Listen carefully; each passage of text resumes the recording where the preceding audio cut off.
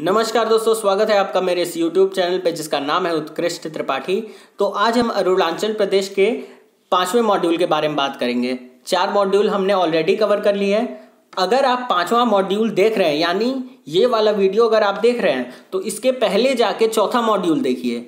क्योंकि उस मॉड्यूल से आपको वहाँ के लैंड के बारे में एकदम क्लियर कट जानकारी मिल जाएगी, ठीक है? तो चलिए शुरू करते हैं। प्रोफ़ाइल देखते हैं कैसी है। तो वेस्ट में भूटान, ईस्ट में म्यांमार, नॉर्थ ईस्ट में चाइना से घिरा हुआ है।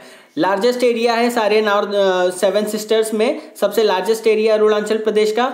ये पूरी ये पूरा लैंड जो है, वो हिली एरिया से भरा हुआ है, ठीक है? यानी यहाँ पे पहाड़ ज़्यादा हैं।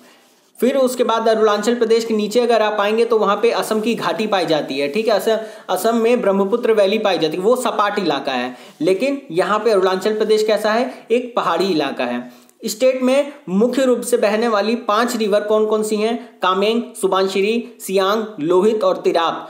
वास्तव में ये सारी नदियाँ ब्रह्मपुत्र की ही सहायक नदियाँ हैं, ठीक है? ट्रिब्यूटरीज जिसको बोलते हैं।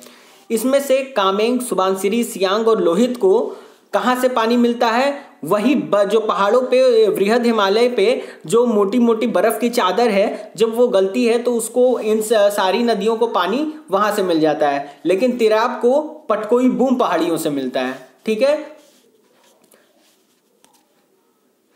इसके अलावा आगे क्या देखने वाली बात है? The main river is Siang which is called Tsangpo in Tibet ठीक है? अब देखिए क्या होता है ना कि जब ब्रह्मपुत्र नदी, अगर या फिर सांगपो नदी, देखिए, चीन चीन में हम किस नाम से जानते हैं?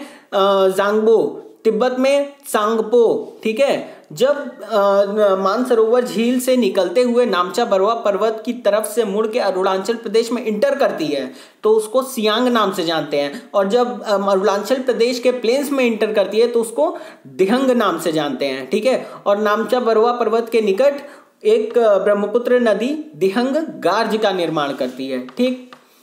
इसके अलावा क्या है? High mountains and dense forest have prevented intercommunication between the tribes ठीक है? तो चूँकि यहाँ पे हमने देखा था पिछले वाले वीडियो में कि ये पूरा एक पहाड़ी इलाका है तो इससे हम निष्कर्ष ये निकाले थे कि अगर एक ट्राइब किसी एक छोर पे रह रही है तो दूसरे छोर वाली ट्राइब के साथ एकदम कटी रहेगी, जिसकी वजह से उनका कल्चर कुछ और होगा, उनकी लैंग्वेज कुछ और होगी। दूसरी जगह उनका कल्चर कुछ और होगा, उनकी लैंग्वेज कुछ और होगी, ठीक? हाईएस्ट पीक क्या है? कोंगटो। ठीक है? कोंगटो कहाँ पड़ता है? बृहद हिमालय पे पड़ता है। ऊंचाई कितनी है? सात हज़ार साठ मीटर या तेईस हज़ार एक सौ साठ फीट। ठीक है? अगला देखते हैं। The state mountain ranges in extreme east of India are described as the place where the sun rises. यानी जहाँ पे मतलब अरुणाचल प्रदेश में हम कहते हैं कि भारत में सूरज सबसे पहले कहाँ उगता है? तो कहाँ उगता है? अरुणाचल प्रदेश में उगता है। और सबसे पहले सनलाइट कौन पा, पाता है? तो दोंग और विजयनगर एक गाँव है वो सबसे पहले सनलाइट पाते हैं अरुणाचल प्रदेश में ठीक है? मेजर रिवर्स मैंने बता दिया चलिए मैप में देख लेते हैं। तो यहाँ पे आपका त्वांग है ठीक है? ये आपकी कामेंग रिवर है भूटान से मानस रिवर निकलती है ठीक है?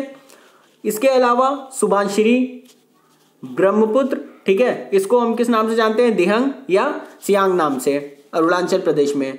दिबंग, लोहित, ठीक?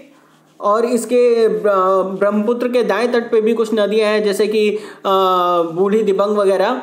तो वहाँ पे बूढ़ी दिबंग इसके ब्रह्मपुत्र के दाएँ तट पे है, ठीक है? तो हम मेजर रिवर्स कौन कौन से देख रहे हैं? अरुणाचल प्रदेश में कामेंग, सुभानश्री, ब्रह्मपुत्र ब्रह्मपुत्र जिसको सियांग या दिहंग के नाम से जानते हैं, दिबंग और लोहित, ठीक है? आगे चलते हैं। ये टूरिस्ट प्लेस है। अगर आप कभी जाइएगा वहाँ घूमने तो इसको एक बार ध्यान रखिएगा। टूरिस्ट मैप हमको पढ़ने से फ़ायदा क्या मिलता है? टूरिस्ट मैप पढ़ने से जो हम लोग को सबसे बड़ा फ़ायदा मिलता है, हमको एक आइडिया लग जाता है कि अच्छा ईटानगर यहाँ पे है। तो हाँ ईटानगर यहाँ पे है। ईटानगर को हम पार करेंगे तो फिर असम वैली में आ जाएँगे। ईटा फोर्ट जैसे यहाँ पे है। यहाँ का पूरे अरुणाचल प्रदेश का फ़ेमस बुद्धिस्ट टेंपल यहाँ है। अब अब लोग याद कर लेते हैं कि यार पाखी लाइफ वाइल्ड लाइफ सेंचुरी यहाँ अरुणाचल प्रदेश में है। लेकिन अब पाखी को याद करना हुआ तो आपके दिमाग में कॉन्सेंट्रेशन से बना के अगर सोचेंगे कि पाखी भूटान के नीचे और असम के ऊपर है तो इसका मतलब है कि त्वांग के आसपास है ये। ठीक है? समझें कि नहीं समझें? यानी पाखी यहाँ हो गई, उसी तरह से मेहाओ वाइल्ड लाइफ सेंचुरी यहाँ हो गई। नाम दफ़ा यहाँ हो गई। नाम दफ़ा को याद करना हुआ तो असम से ही सटे है। ठीक है? नागालैंड के ऊपर है तो आपको इस तरह से याद करने में आसानी मिल जाएगी। ठीक? अगला देखते हैं, हिमालय के बारे में देख रहे हैं। जल्दी जल्दी हम कवर करने की कोशिश कर रहे हैं क्योंकि मॉड्यूल ज़्यादा खिंच रहा है। ठीक है? तो इस वीडियो में देखिए कि सॉरी इस प्रेजेंटेशन में देखिए कि यहाँ पे सबसे ऊपर ग्रेटर हिमालयाज है। यह अरुणाचल प्रदेश हो गया पूरा।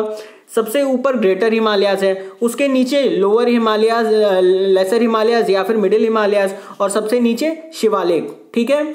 तो इस तरह से यहाँ पे माउंटेन्स अरेंज हैं। सब ग्रेटर हिमालयस पे स्नो जमी रहती है, ठीक है? स्नो जमने से क्या होता है कि यहाँ की नदियों के पानी का मुख्य स्रोत क्या मिल जाता है? यही बर्फ़ में रहता है, ठीक है? केवल ब्रह्मपुत्र ऐसी है जिस, जो तिब्बत पठार से निकल के जिसका पानी आता है, ठीक? यहाँ पे कांगटो जो था ना, ये देखिए बृहद हिमालय पे यहाँ की सबसे ऊँची चोटी है। इसके अलावा कुछ पासेस भी हैं। बामला पास, तुलुंगला पास, तुंगा पास लांबा पास, लोसा पास, आंध्रा पास, ठीक है? सांकांग पास और इसके अलावा यहाँ पे जो ब्रह्मपुत्र नदी है, यहाँ बृहद हिमालय को काट के गर्ज का निर्माण करती है, कैनियन का निर्माण करती है, जिसको हम क्या बोलते हैं? दिहंग गार्ज, ठीक? आगे अगली वीडियो में हम क्लाइमेट के बारे में अध्ययन करेंगे। तब तक के लिए धन्यवाद।